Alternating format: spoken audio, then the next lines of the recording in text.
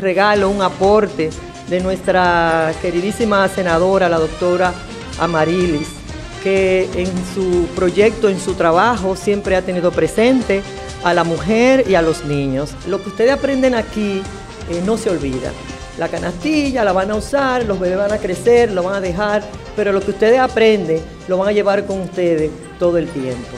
Para mí me ha ayudado bastante ya en el mañana, es decir, cómo yo cuidarme, cómo yo proteger a mi hijo, es decir, cómo yo darle buena educación, darle amor, cariño. Y para mí significó algo bastante lindo, bastante grande lo que yo estuve aquí y, y los miércoles que estuve viniendo aquí también. Doy las gracias a Dios y le doy las gracias a la senadora, las gracias a la doctora y para decirle que este curso ha sido para mí muy importante.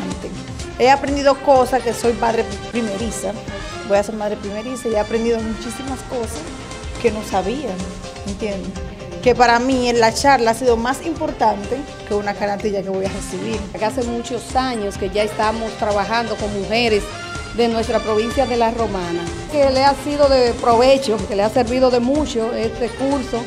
Le deseamos la oficina senatorial, su senadora y todo el personal que tengan un feliz parto y que Dios les siga bendiciendo, tanto a ustedes como a sus hijos. Y nueva vez agradecer a la doctora Lourdes Cuesta por este gran apoyo.